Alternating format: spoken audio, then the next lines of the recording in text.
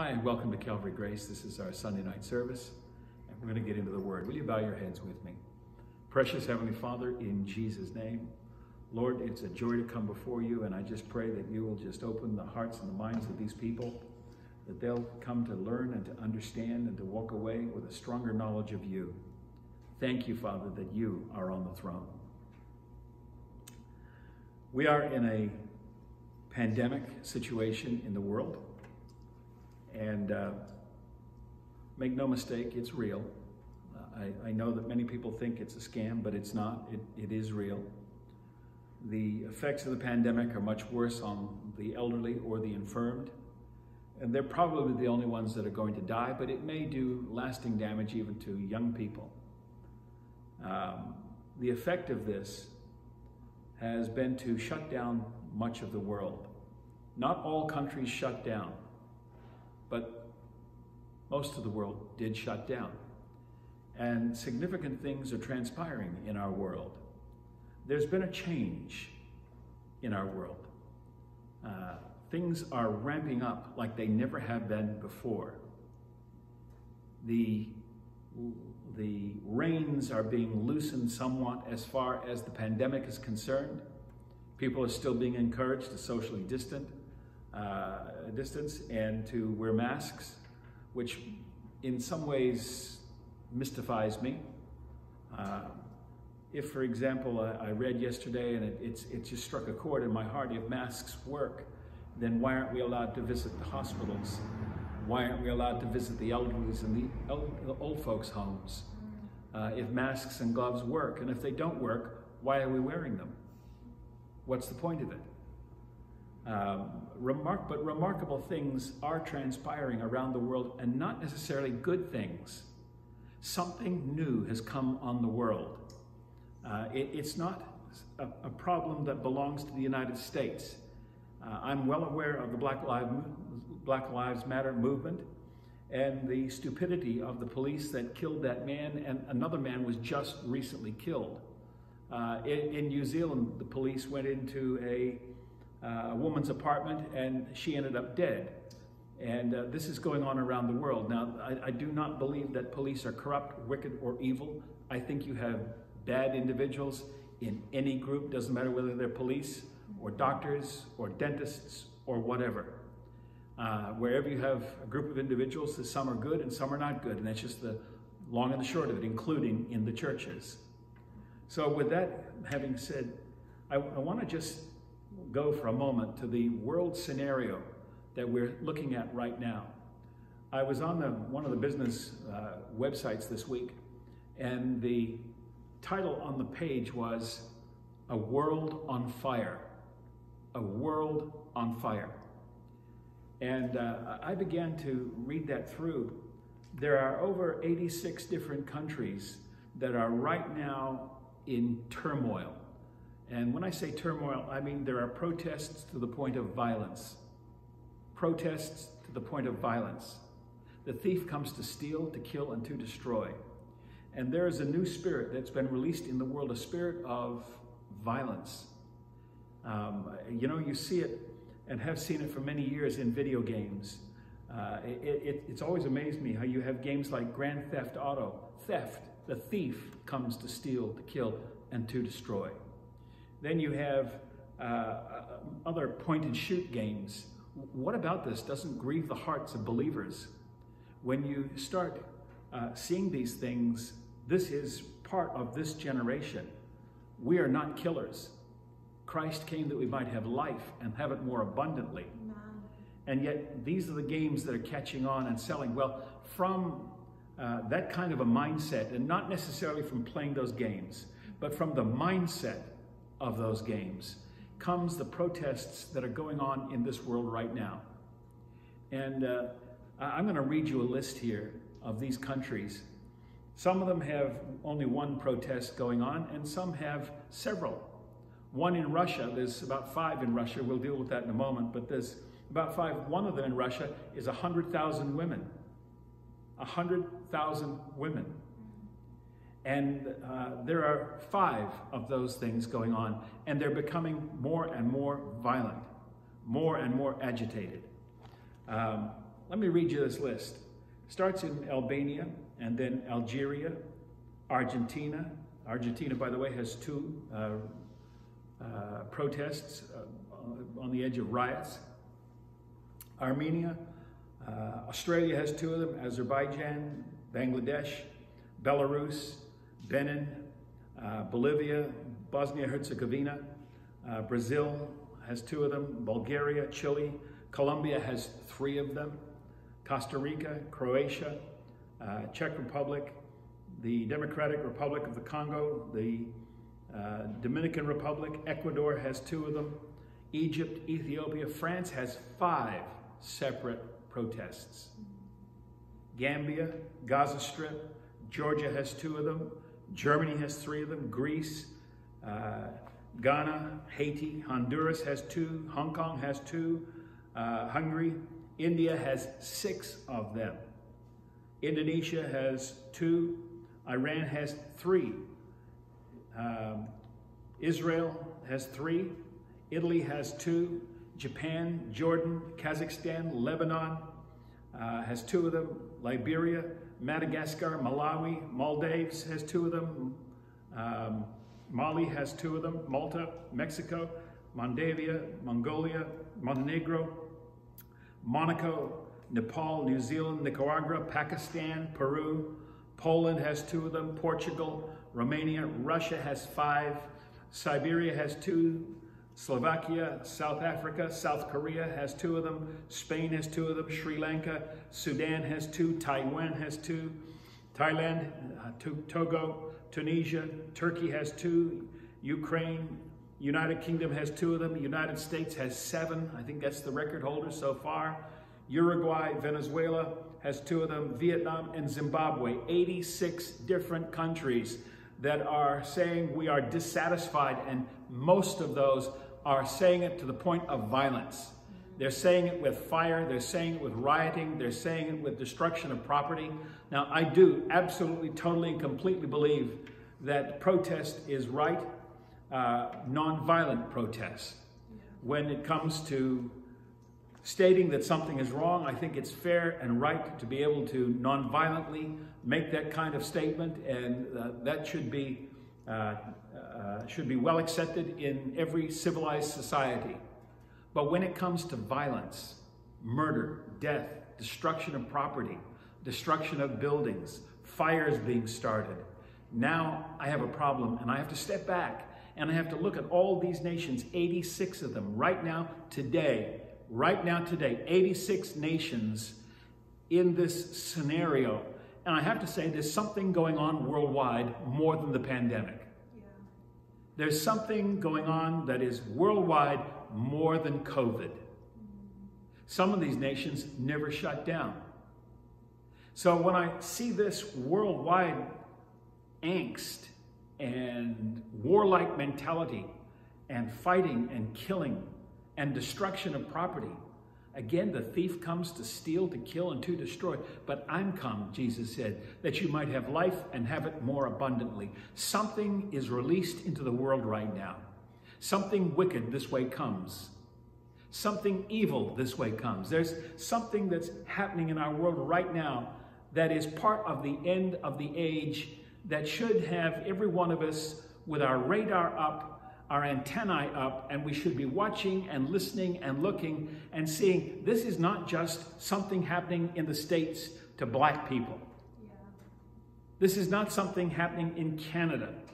This is something happening around the world, and race has absolutely nothing to do with it.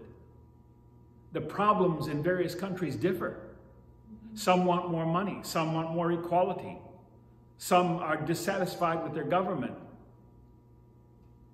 And when November comes in America, you watch what's going to happen there. Whoever wins, the other side will be disenfranchised, and it's 50 50. Half of America will be disenfranchised in November. Some of you are voting for one side or another. God bless you.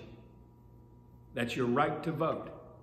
But know this one half is going to walk away with their head hung.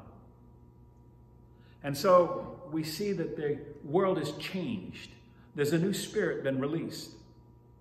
There is a tremendous story being told in the book of Daniel, somewhere around about chapter 10.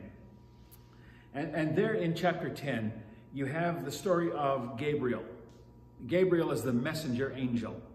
And uh, as Gabriel shows up in uh, round, roundabout there, Gabriel says to Daniel, he said, listen, from the time, Daniel, that you set your mind to gain understanding, and you got really serious with God, and you began to pray, I was dispatched. But then he tells us something remarkable. He said, It took me over three weeks to get here. Now, you would think that these interdimensional creatures that could pass through dimensions could pass time and space instantaneously. And yet he said, I was held up by the prince of Persia. He's describing a demon that had set itself up over Persia, which is today modern Iraq and Iran. And he said that, you know, uh, I, I, was, I was stuck there until Michael the archangel, I had to send for reinforcements. And when Michael the archangel arrived, uh, he's your prince, speaking to Israel, he said, uh, he helped me and, and I was able to make it through with the answer that you had been requesting from God. Now, this gives us an interesting vision of what's going on outside of our world that we cannot see. No, I, I don't mean necessarily outer space. I'm talking in another dimension. I'm trying very carefully here not to sound like the Twilight Zone, a dimension of sight and sound and so on. But in fact, what we're talking about here is a dimension of the spirit realm, the spirit world, which is more real than the world that we live in. They have the ability to move instantaneously from one part of the planet to another they have the ability to move through walls. They have the, uh, they are spirits. They are not corporeal. They, uh, they don't get sick. They don't die. Uh, they will live until they're cast into hell and they will, they'll live there. But at the moment, there is this band, if you will, of black enemy forces surrounding the earth. And from time to time, one or more is released. You know, if I had to ask you, what the spirit was over Las Vegas, I, I don't think anybody would have any problem saying there's a gambling spirit there. And, and, you know, you could go from city to city, place to place. Uh, my wife is from New York, and, and in New York, it, it, there's, there's, a spirit of anger. There's always been a spirit of anger there. Um, and uh, as you travel from place to place, you can become aware of these things if you open your eyes and you just watch and see what's going on. Well, a new spirit has been released. Something new has hit the earth. And what we're seeing is this rise of tremendous anger. Now, it would be something if it was all racial. It would be something if it was all financial. I mean, we could look at that and go, well, this is just, uh, you know, an inequality amongst the races. And and, and, and so be it. But what I'm seeing is all kinds of reasons.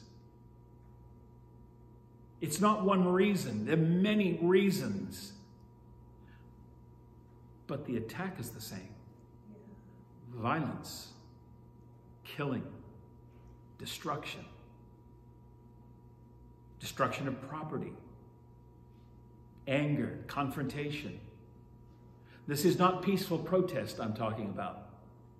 This is something that is demonically inspired and it is worldwide. And I think it's the real pandemic. I think that COVID has taken our attention and the devil has begun to do things underhanded that we have not been watching and seeing. We need to open our eyes and see what's going on in our world. Take your Bibles and turn with me, if you will, to 2 Timothy chapter 3, verse 1.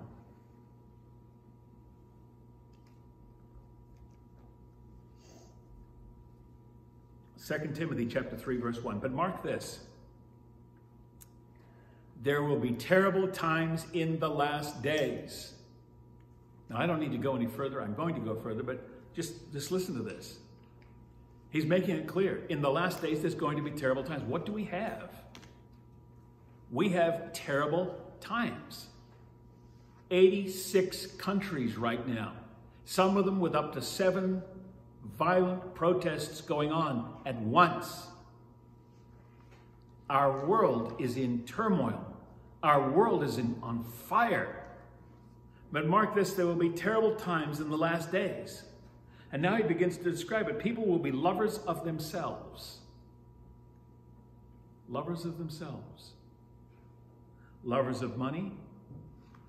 Boastful, proud, abusive, disobedient to their parents, ungrateful, unholy, without love, unforgiving, slanderous, self, without self control, brutal, not lovers of the good, treacherous, rash, conceited, lovers of pleasure rather than lovers of God, having a form of godliness, but denying its power, had nothing to do with them. Let, let me tell you, if that doesn't describe our world, I don't know what does.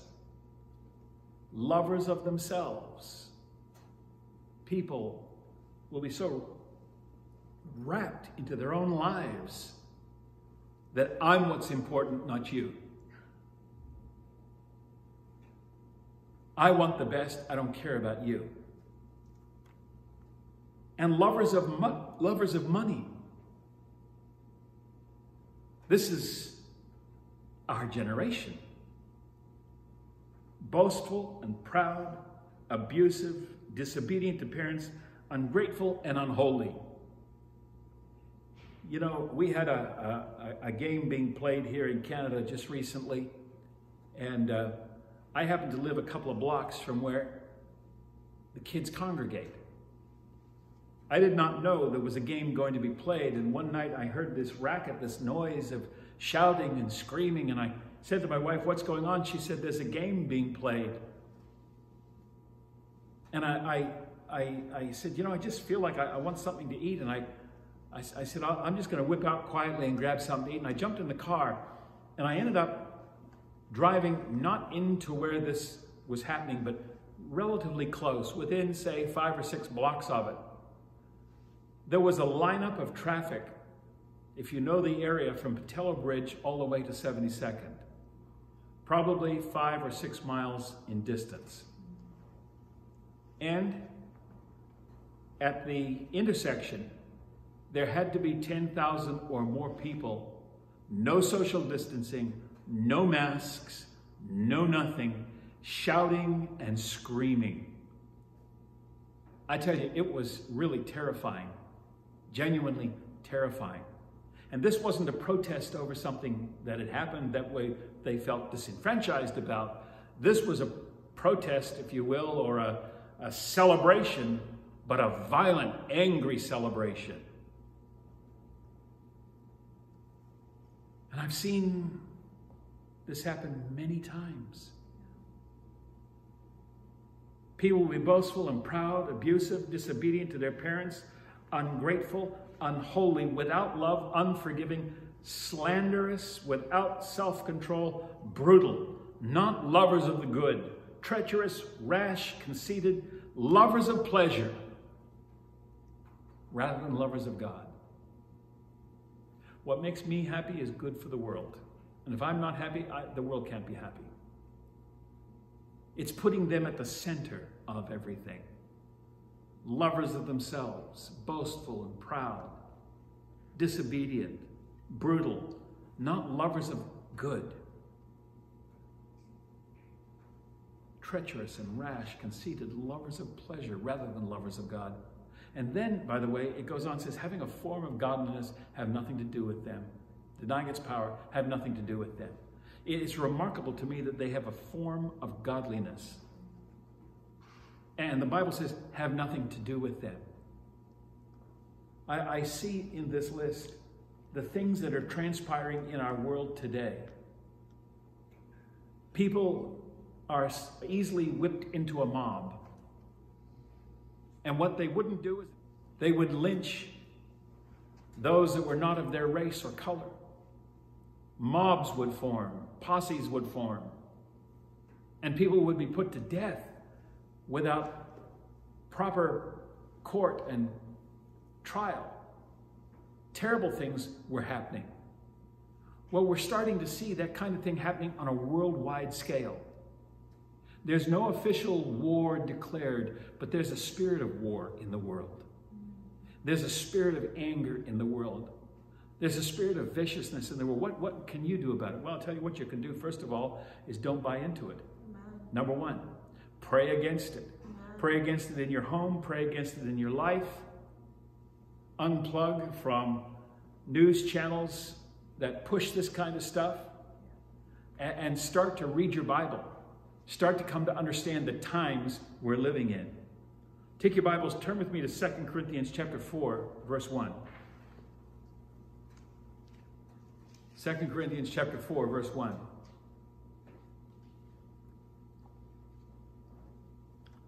And here it is. Therefore, since through God's mercy we have this ministry, we do not lose heart. Rather, we have renounced secret and shameful ways. We do not use deception, nor do we distort the word of God. On the contrary, by setting forth the truth plainly, we commend ourselves to every man's conscience in the sight of God. And even if our gospel is veiled, it's veiled to those that are perishing. What's he saying? He's saying we don't twist the truth. We've made it plain and clear and simple and straightforward. And if somebody doesn't get it, they don't get it because the God of this age has blinded the minds of unbelievers so that they cannot see the light of the gospel, uh, uh the, the gospel of the glory of Christ, who is the image of God. What's he saying? He's saying that demonic forces, demonic entities, have blocked the minds of people to receive the gospel. That's why when you're sharing the gospel, you must pray, God, unblock their minds.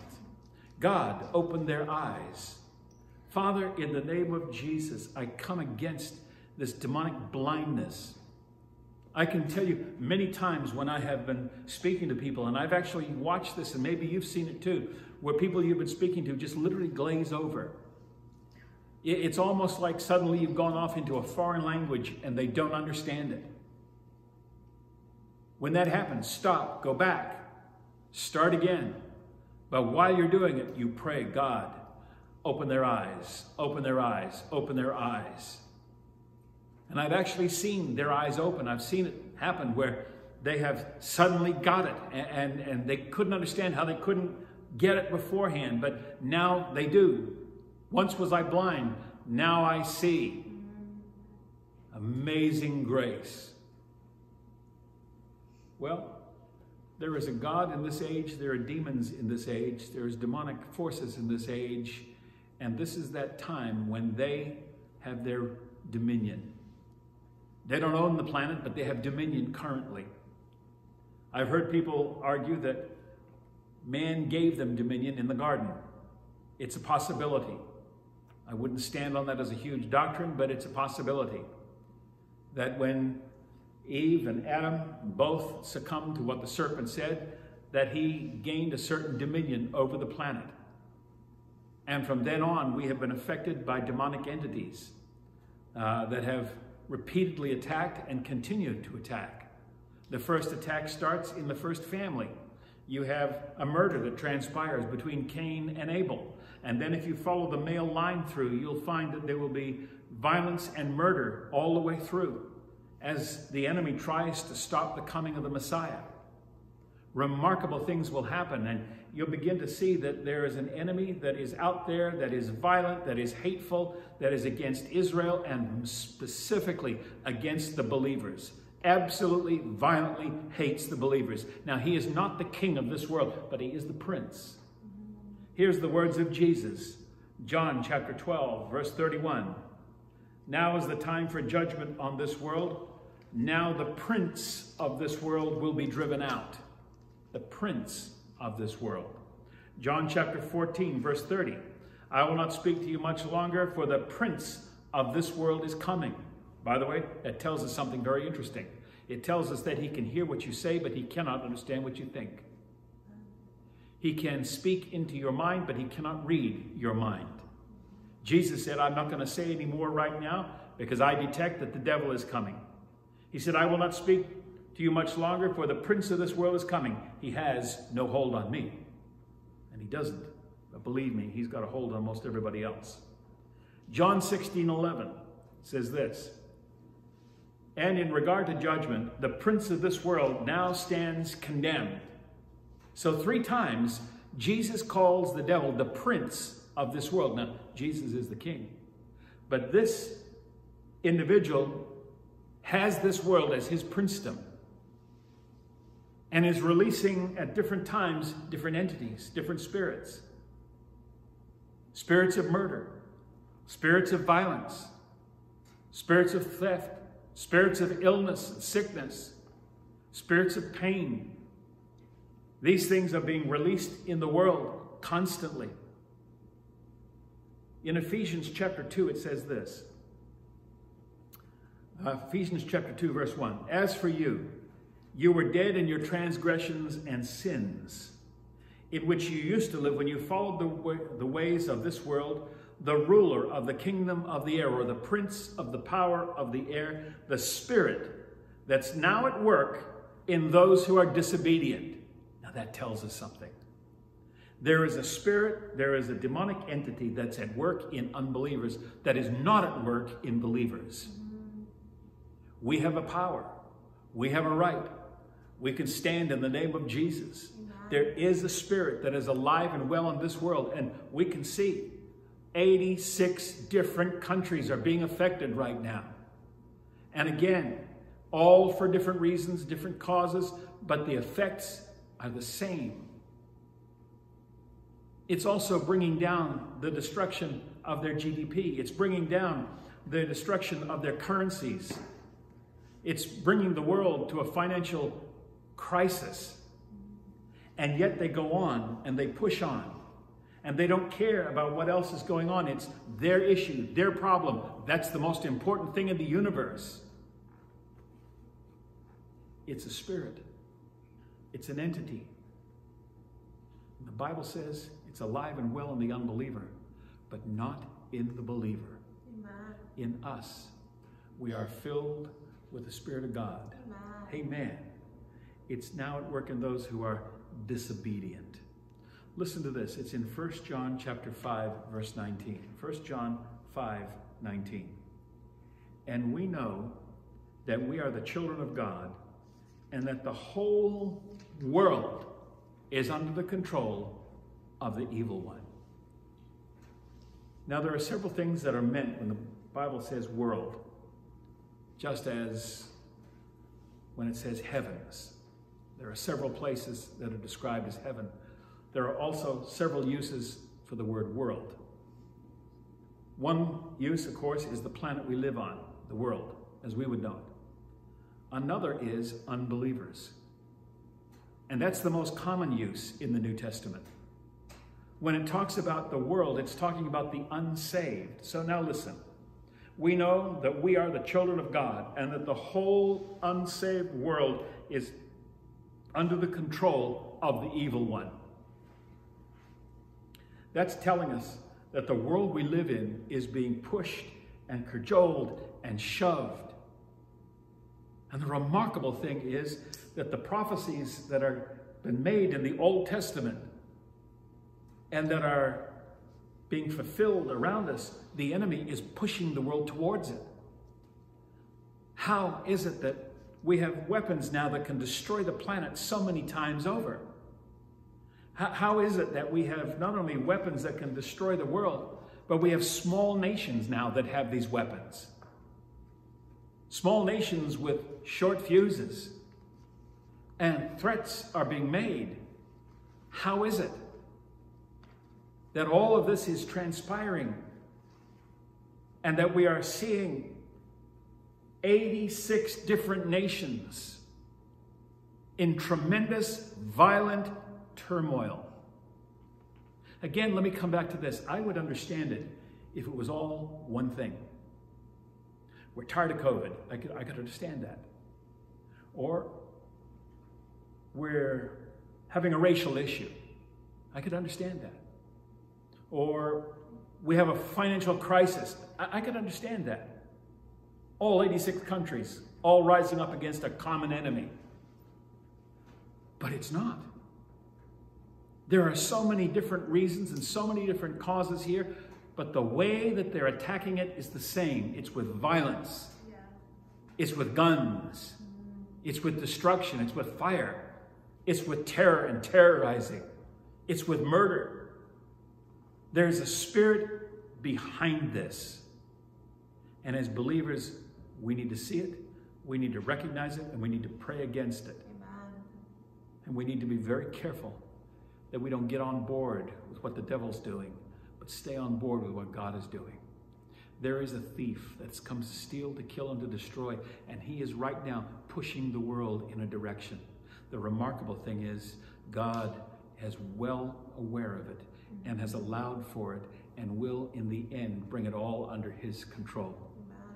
In 1 Timothy chapter 4, verse 1, 1 Timothy 4, 1, it says this, the Spirit clearly says that in the latter times some will abandon the faith and follow deceiving spirits, lying spirits. That's what's going on. People unwittingly are, are abandoning their walk with God and, and following these lying spirits and things taught by demons.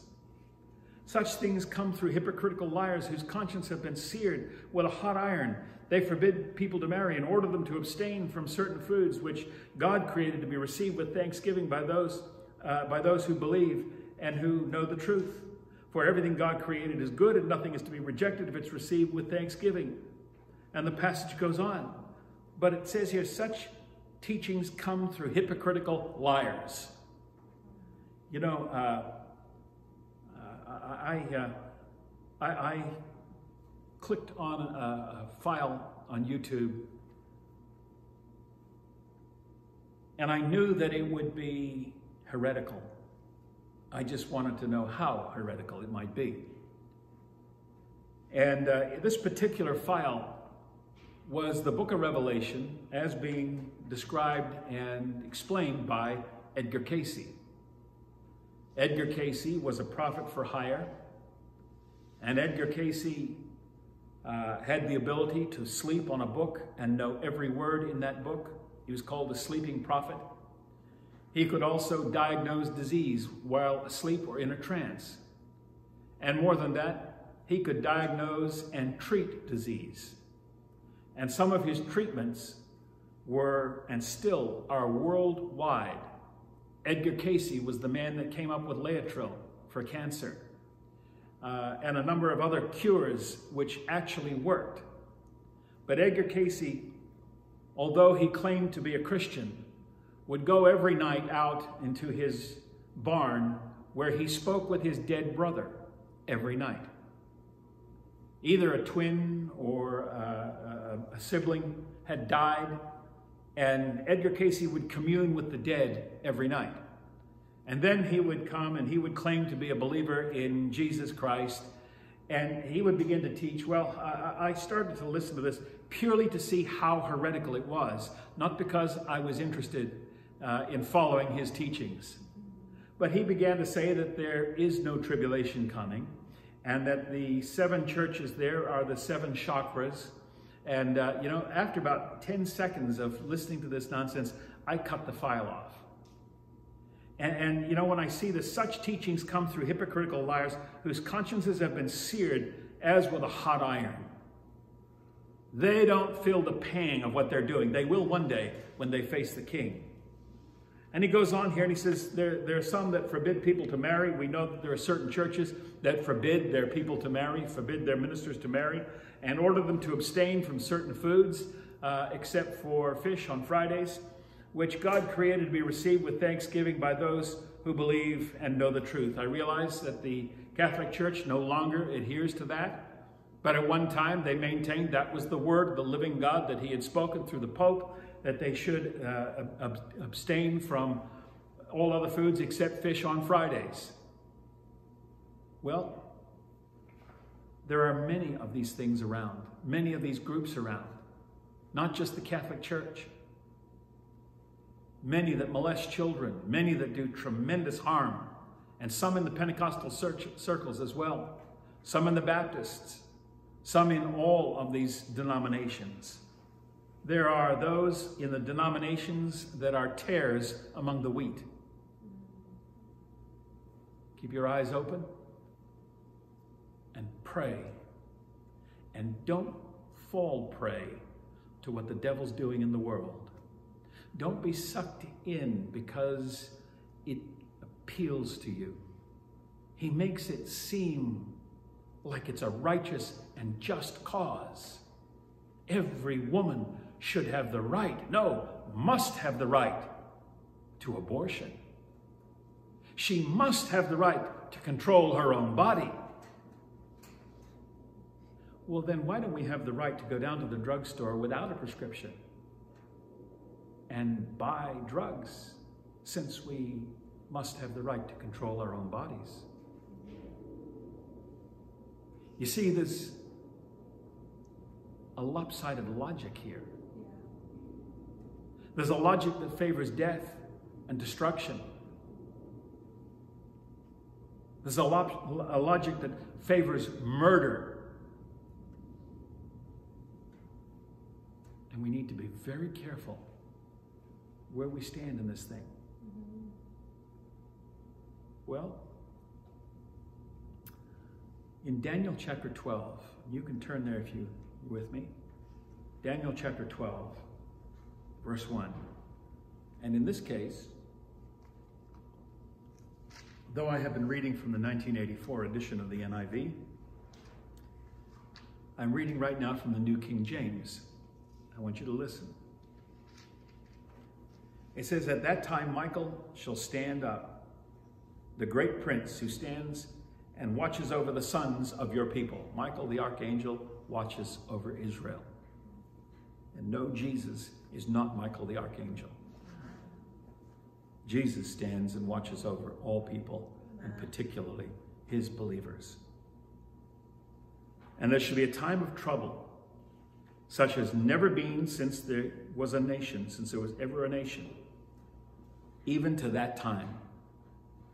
Now, here's what's being said there's going to come such trouble on the world, there will be more trouble in this period of time than has ever been in the past,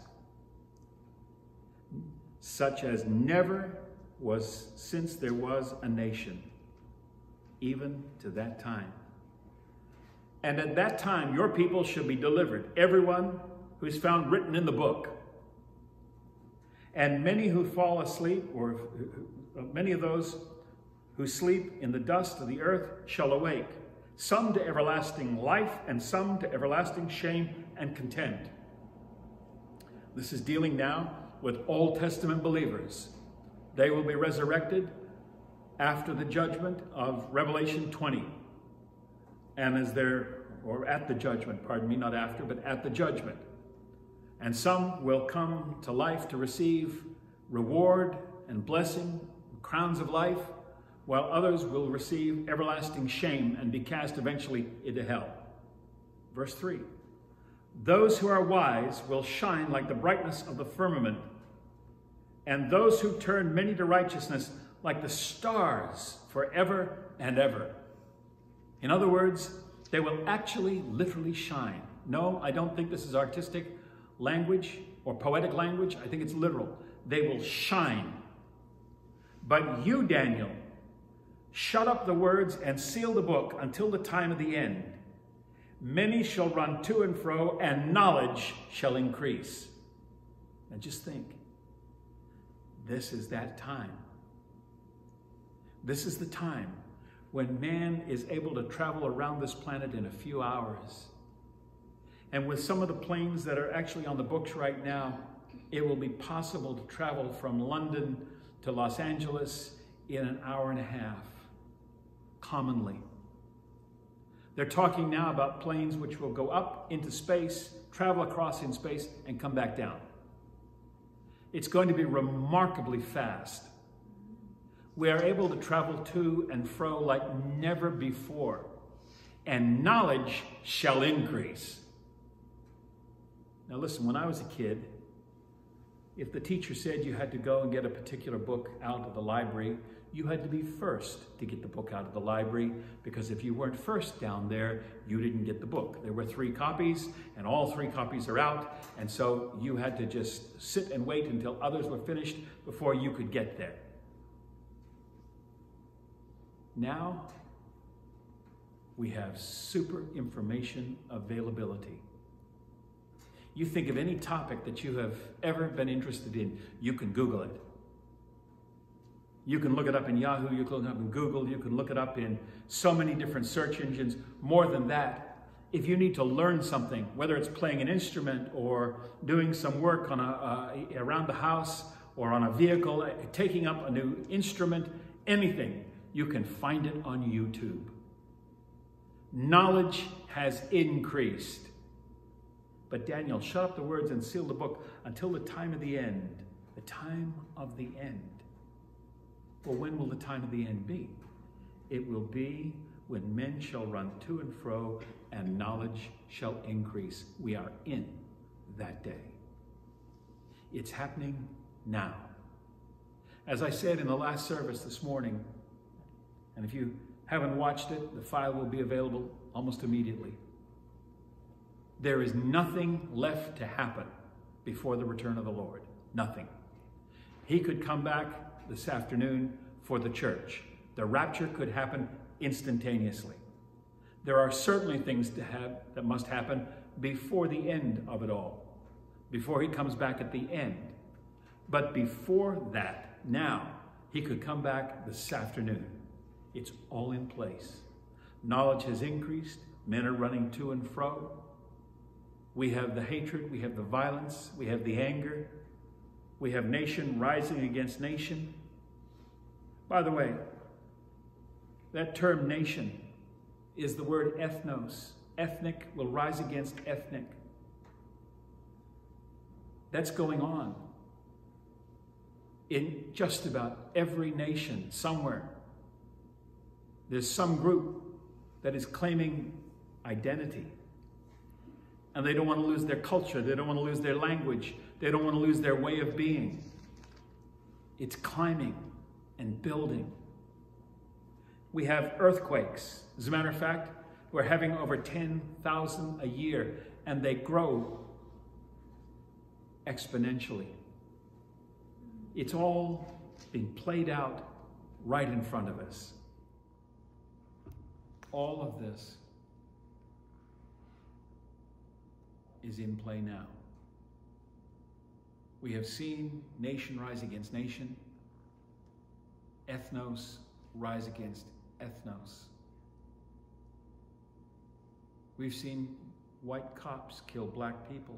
We've seen black people kill white people. We've seen burning of buildings. We've seen people protesting around the world because they're hungry. It's all for good cause, by the way. This will never be because people just got up one morning ticked. It's all for good reason. But there's a spirit behind this. So, what can we do? Well, the first thing we can do is keep our eyes on Jesus, the author and the perfecter of our faith. Amen. Focus in on Him. Be very careful what you protest for. And if you're going to protest, how you protest. Protestation should never include violence. It should never include property destruction. It should never be threatening. What it should be is a way of saying we have a grievance, a legitimate grievance, and in this grievance, we want others to help us get some justice. Watch what's going on in your world. Jesus is at the door. Live life like the rapture could happen today. Will you bow your heads with me? Precious Heavenly Father, in Jesus' name, I thank you that you are the King. And though there is a prince that is affecting this world, princes are not kings. And though for a time He's enjoying his control over this princedom. One day the king is going to come back. And the Prince of Peace will have rule over this planet. Lord, right now, the accuser, the prince of anguish, the prince of terror, the prince of destruction, the prince who is a thief, who's come to steal and to kill, has reigned. But his day will end. Help us, Father. Sustain us and keep us. Keep our eyes on you. Yes. Thank you, Father. In Jesus' name, amen.